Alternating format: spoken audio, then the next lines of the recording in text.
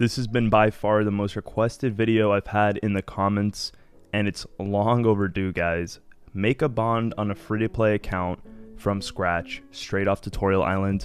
That is exactly what we're going to be doing today in one sitting. Now, I have made four separate videos showing you how to make money in free to play, but I've never showed you the entire journey and the whole process of what it's like to actually try to obtain a bond in free to play. So, you know, if you are a free to play player who wanted to learn how to make a bond, you could use this video as a guide.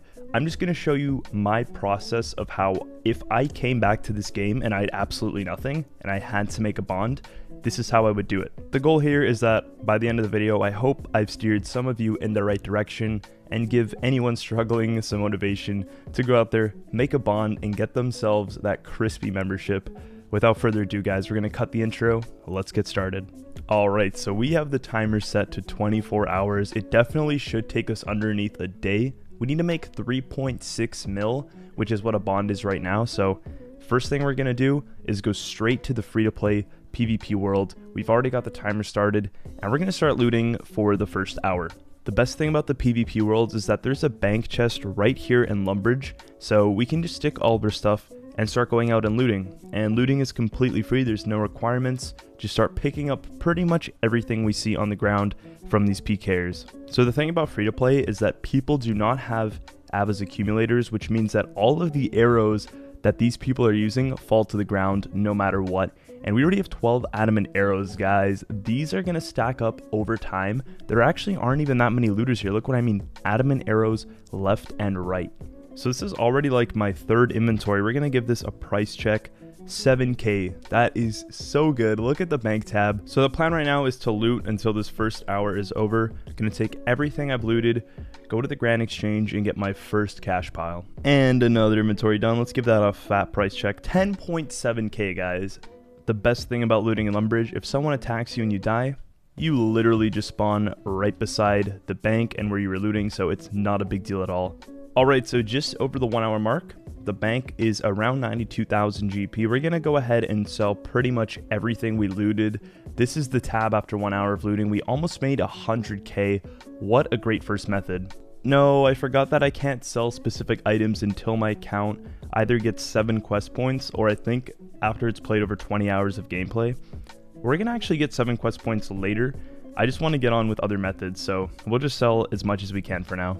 Alright, so 83,000 GP in cash, money after that looting session. Not bad at all. Let's head straight to Varrock, and I think you guys know what the next method's to be. You guys already guessed it, it's to be Varrock shops. So first I'm to test pink skirts and see if there's still a really good moneymaker. I made a video on this quite some time ago. I want to see if it still works. So we bought them for two coins each and they sell for 23. I was really hoping that they'd sell for at least over 100. Yeah, I completely killed this method. So instead of the clothing store, we're going to be moving to the archer shop and I have such a good idea.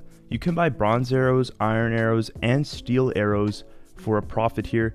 As you guys can see, bronze arrows, they can actually buy for 1 GP and sell for 5. The iron arrows can sell for 7 and the steel arrows can sell for 30 GP. So the plan right now is to spend the entire 83,000 GP cash stack on these arrows, then go sell them to the Grand Exchange and we should get a very nice profit. This is a screen that gives me nightmares, too many login attempts. Basically when you do a method that hops worlds a lot, you get the screen. Okay, so spending the 83k actually took a lot less time than I thought it would. Alright, so the bronze arrows haven't even sold yet, and we're at a 110k cash stack. This method's actually really nice. There we go. They all came through, and 136k, guys. Wait, that actually didn't even take that long at all. That was like 25 minutes, I think, and we just turned a 53k profit. I'm heading straight back over to that arrow shop. The only problem I see is the arrows being not stocked in any worlds because I literally hopped to every single world and other people are doing this as well. So pretty much in every world the arrows have been bought down. I'm going to try to go to Aubury here, which is the rune shop, and he sells these death runes which go for a profit in the Grand Exchange. So yeah, we're just going to cop as many of these as we can. And if this doesn't work, probably going to head back to the arrow shop. Alright, the turn of the next hour, we've actually just spent all of our money. The rune shop didn't really work out too much. We bought a lot of chaos runes because those actually turn a profit as well. Oh, you're kidding me. You can't even sell chaos runes until your account has 7 quest points or is older. Alright, whatever. I think I'll just do that later, keep the chaos runes in my bank, and sell everything else off. Beautiful. All the steel arrows sold, 30 each. Now our cash stack is sitting at 133k, plus we have around 30k on chaos runes. We're going to move on to another method, which is making soft clay. Some of you might remember this from back in the day. All you need is 14 jugs and buy as much clay as you possibly can, and you pretty much can start doing this method. I just wanted to do something that didn't require me to hop worlds. So we're back to Lumbridge, we're going to hop to the PvP world. This way we have the bank chest right beside a fountain, which is something that we're going to be needing to use for this method. So to make soft clay, you need to use a jug of water on clay. We're going to be taking these empty jugs, filling them with water at the fountain, then using them on the clay to make soft clay, and we're going to be turning a mad profit. If we actually bought the jugs of water, we wouldn't be making as much money, but this way we're actually saving a lot of money. So I don't see a lot of people doing this method. I think these bots are just filling the jugs of water. I think the way we're doing it is making more GP an hour. So I'm to see how much clay we can go through in about an hour, see how much profit we've turned, and decide if I want to stick with this method or move on to something different. Alright, so I believe it's been roughly one hour at the clay. Getting pretty tired of this method. I'm just curious to see how much profit we've made. I'll show you how much soft clay we actually got through in just a bit. Taking a look at the bank here. Yeah, so we managed to make 1521 soft clay. Keep in mind we're making 14 in inventory. Alright, so that only made us around 50k, guys. The margin was 32 GP each soft clay we made.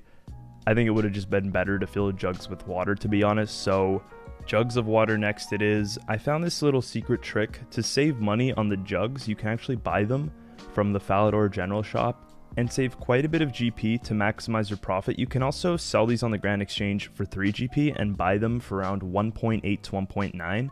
Just as a side note, I would ignore the wooden shields in my inventory. I just thought it would be a good method, but I completely killed that one in the last video as well. So because we bought these for around 1.8 to 2 GP each, we are going to be turning a 15 to 16 GP profit on the jugs of water. These are needed in high demand because people use them for cooking in Members World, and it's a very AFK method. Like you literally take out an empty inventory of jugs, and then just click it on the fountain and they fill extremely fast. By the way, yes, in my bank, I did have roughly 10,000 jugs of water. I'm not going to get through all 10,000 of these, but I'll be able to sell the remainder on the GE for a nice fat profit. Alright, I'm going to call this one the last inventory for the jug filling method. We got through 3,300 of these. You can actually get through around like 4.5k if you do it for a full solid hour. I only did it for around 45 minutes, so let's take all of the ones we filled, plus all of the empty ones to the Grand Exchange as usual. Alright guys, so I have paused the timer. I've just done two quests, Goblin Diplomacy and Romeo and Juliet. Now what I can do is sell all of the stuff that I couldn't before on the Grand Exchange because of the account age or the quest point restriction. I know this is to counteract bots, but we have gotten the 7 quest points out of the way. But yeah, timer resumed. Let's sell off all the stuff that we couldn't before now that we do not have that restriction on our account. Okay, so everything sold, we have 267k, which is kind of a yikes because it's been almost 4 hours. So we're going to move on to another method which should boost that up significantly. We're going to be making blue dyes and we're going to be buying as many woad leaves as we possibly can because if you don't know, blue dyes are made through woad leaves and it's actually a really good method since you do need that specific dye for a quest. So we've used our Lumbridge home teleport. We're going to head straight over to Aggie where we can make these. We got around 3,000 woad leaves and we needed to leave ourselves some cash because you need 5 GP for every single blue dye that is made. The fact that you can just use the woad leaf on Aggie, hold spacebar, makes this method so good. Like, you can just make blue dyes at such a fast pace. It is insane, actually. All right, turn of the next hour. I think this is where I'm going to stop it. We've made 806 blue dyes. These sell for around 300 GP each, and every single blue dye that we use, 200 in supplies. We're going to come over to Diango as well and buy ourselves a Chronicle with five teleports, shove those into the Chronicle. Now we have a teleport to Varrock, making our trips to the Grand Exchange much shorter. Alright, so I kind of knew this was going to happen. We only managed to sell around 500 of the dyes, but for 330 each, guys, we're going to leave the rest of the dyes in the Grand Exchange and move on to the next method. I just seem to never be able to get away from pizzas, but the next method is going to be related to pizzas. We're going to be making pizza bases with a bucket of water and a pot of flour. Now, this method is actually really great. And I'm glad I discovered it. By using a bucket of water and a pot of flour, you get a pizza base which sells for around 129 coins, and you also keep the bucket and the pot so the margin increases there, and it's actually 48 GP per pizza base that you make.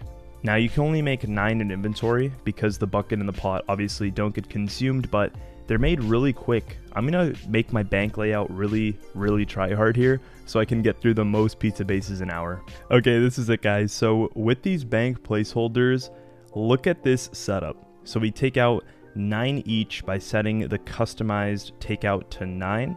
We make all nine pizza bases.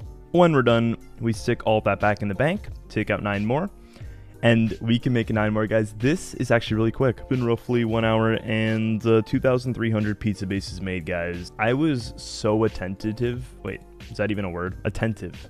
I don't know which one it is. Correct me in the comments. We're gonna solve these to the Grand Exchange. I hope we can get them for 130 each. Please.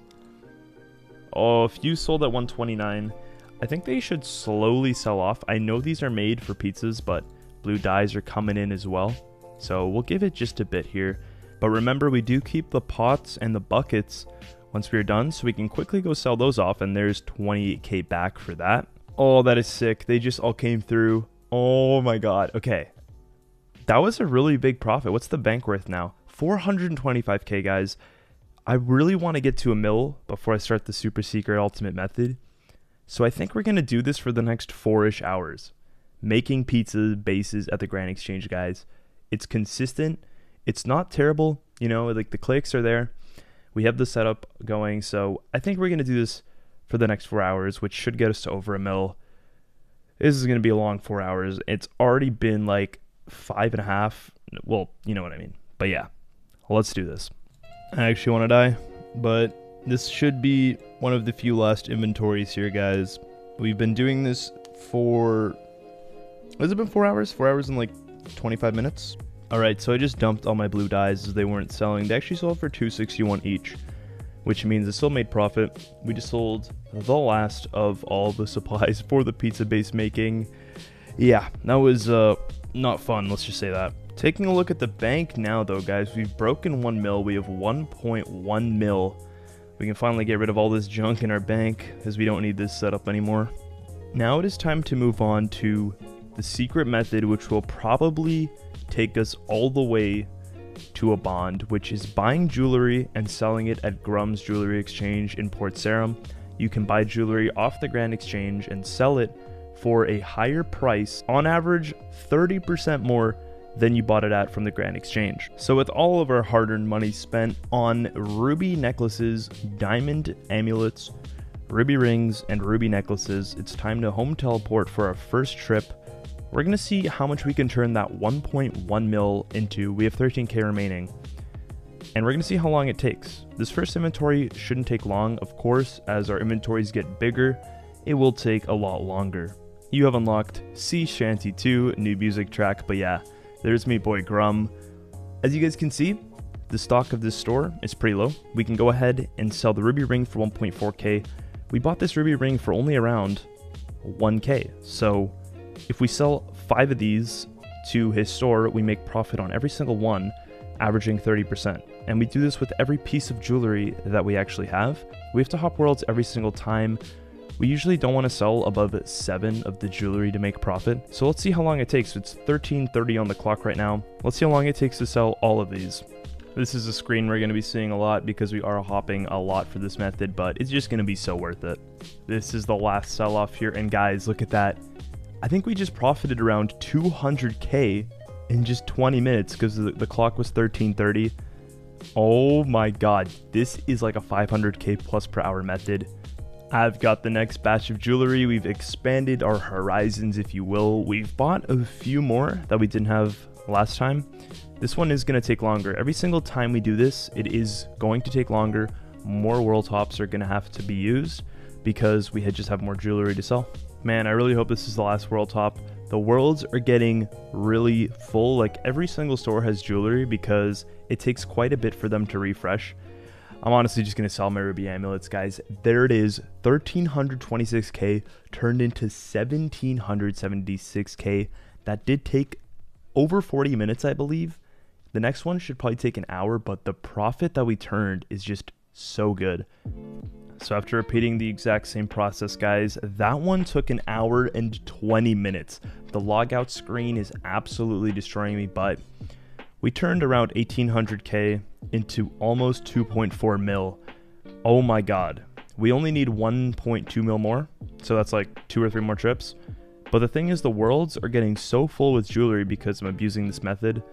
We might have to switch over to more pizza base making just so the shop refreshes. Yeah, so we're going to do more pizza bases just so the shop refreshes, so that method actually works again. So uh, yeah, we're going to get through around 3.2 thousand of these guys, and uh, yeah, I'm getting really tired. Let's just say that. Oh man, I literally just want to go to bed, but this is the last inventory of that. Yeah, so let's sell all these. Really hope I can get these for 120 each. I'm just praying. Yes, that's a nice profit right there. Sell all the buckets, sell the pots. Now we're looking at how much. Okay, well, I need to lower these guys to 5 GP. Now we're looking at almost 2.5 mil, guys. 1 mil more, and we're pretty much done. We can do that in two jewelry trips. Man, the amount of jewelry we can start buying now is nuts. But the diamond and the ruby pieces seem to make the most profit, so it's just most logical to buy those. Oh my god. It's actually been an hour and like 40 minutes. I'm not even kidding. That took so long. Some other people are doing this, but I just committed and I got through it, guys. One more world hop, hopefully, hopefully, really. I just want this to be done. There it is. So one more of these and we should be good. We're at the, wait, so if that's 6, 24, the 17 hour mark? Yeah, 17 hour mark. Quick maths, boys. So yeah, after we spend this uh, 3.2 mil, we should be good. We should have the bond. Alright guys, yeah that is the last world hop, 3.7 mil. Kind of did overkill there, we actually didn't need to get that much. Chronicle Teleport. Let's go buy this stupid bond. Man, it is done. Uh, how much should we buy it for? I just put in for 3.7 mil and we got it for 160k less. History, okay, I can't even click. Yeah, 3.545 mil. It's gone up from 3 mil to that, so it was a little harder than if I did it like two months ago, but uh, that is basically it. Yeah. Alright, so this is the next day, guys, and I just wanted to check the age of the account. 11 hours, 11 minutes. Made two days ago, that lines up. It's been like probably 40 hours since I've made this account. It should actually be like 18 hours, 20 minutes, but because I spent so much time in login screens, I guess that makes sense. But yeah, that is the bond done from scratch. Editing this on day two, I just could not have the energy to edit this the same day.